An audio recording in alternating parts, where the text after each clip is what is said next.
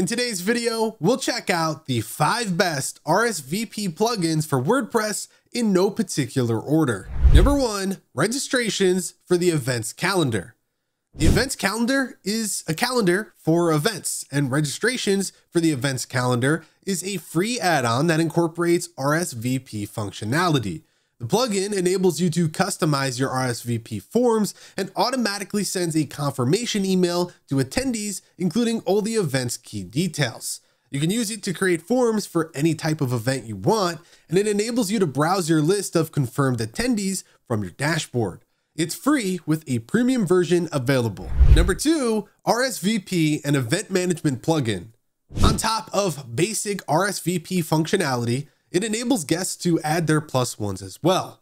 It also offers the option to associate specific guests so large groups or families can reply all at once.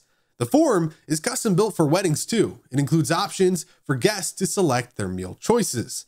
If you need a plugin for a wedding RSVP website, this is it. And it's free with a premium version available. Number three, Events Made Easy. This is not necessarily the simplest solution, however, it does offer you a broad range of options.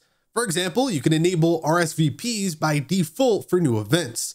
You can also set a default number of seats for events, block new RSVPs depending on how much time is left, hide fully booked venues, and even process payments using gateways such as PayPal and Stripe. It offers a massive number of options to manage payments, configure your calendar, set up email confirmation templates, and more.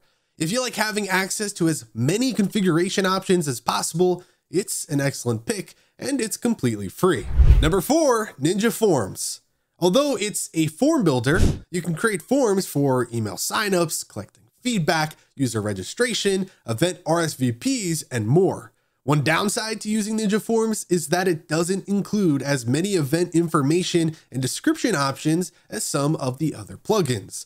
It's free with a premium option available. And finally, number five, WP Forms. You can use its default fields to put together simple forms with checkboxes and yes no options for visitors to confirm their attendance to any type of event.